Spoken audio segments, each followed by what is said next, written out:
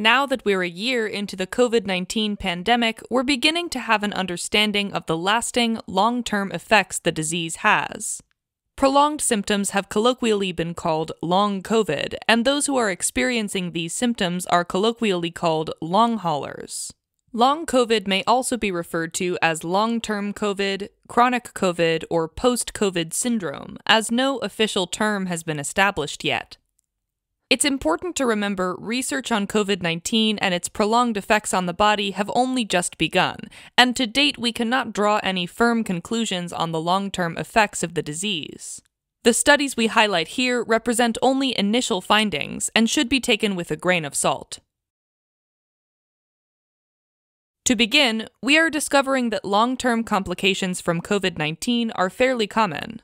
In October of 2020, the United Kingdom's National Institute for Health Research announced 10 to 20 percent of people who contracted COVID 19 continue to have symptoms or complications of COVID 19 one month after diagnosis.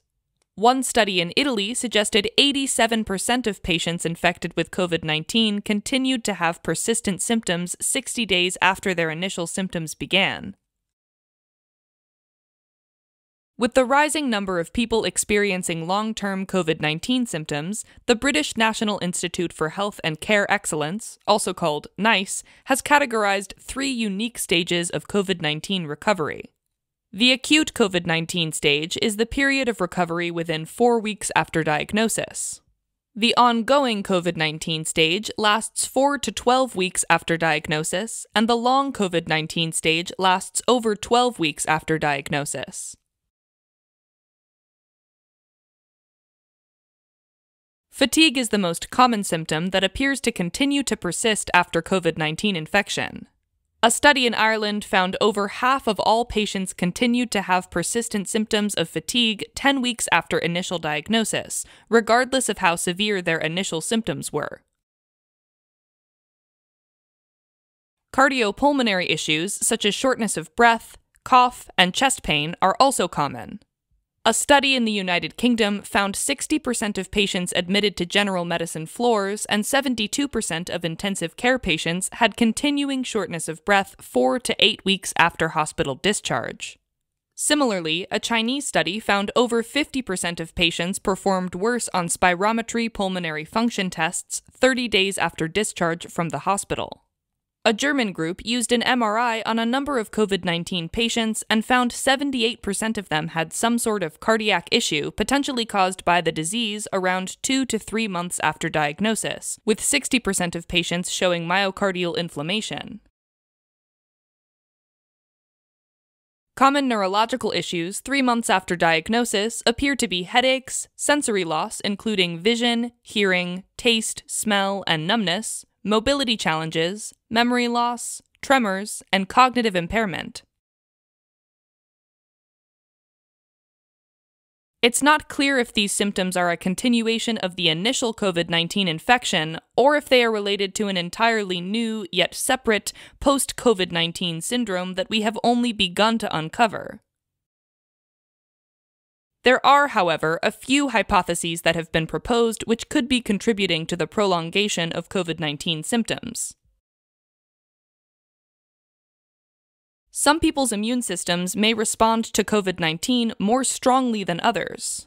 Weaker immune responses to COVID 19 might lead to symptoms lasting several months instead of several weeks.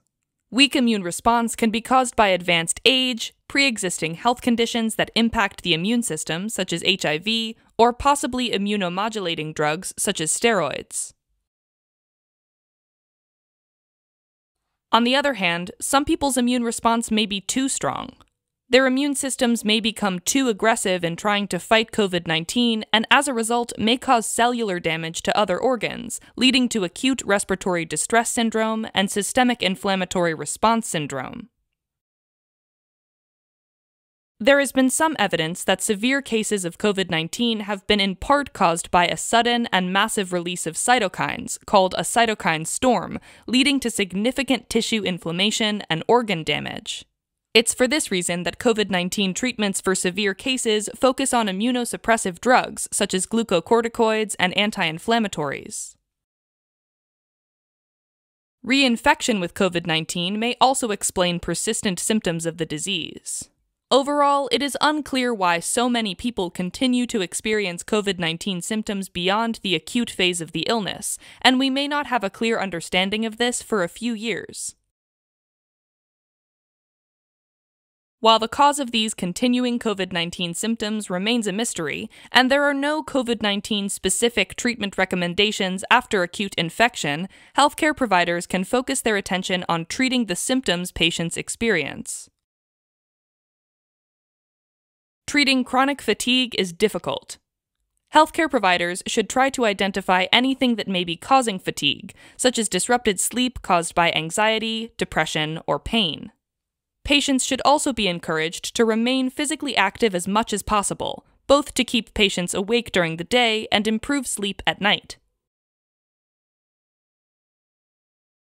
The United Kingdom National Health Service has created an easy to remember mnemonic patients can use for help coping with fatigue called the 4P method planning, pacing, prioritizing, and positioning. Patients should plan their day around times of the day when they have the most energy, pace themselves while doing tasks, deprioritize tasks that are less important to do in their daily lives, and position items and activities to be easy to reach and use, such as using a shower seat and shower handle when freshening up. For patients who continue to experience cardiopulmonary symptoms, such as shortness of breath, cough, and chest pain, healthcare providers should run diagnostic tests to look for possible causes.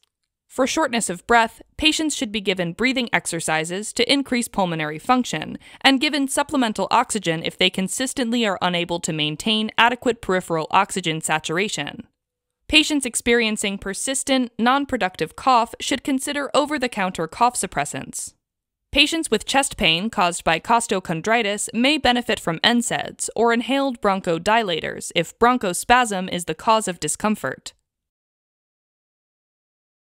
In summary, there is growing evidence that patients infected with COVID 19 will likely have prolonged symptoms from the disease months after their original diagnosis. Common long term symptoms include fatigue, shortness of breath, cough, and chest pain, and it's currently not clear what may be causing these prolonged symptoms. Once other causes for these prolonged symptoms are ruled out, clinicians should focus on treating the symptoms themselves.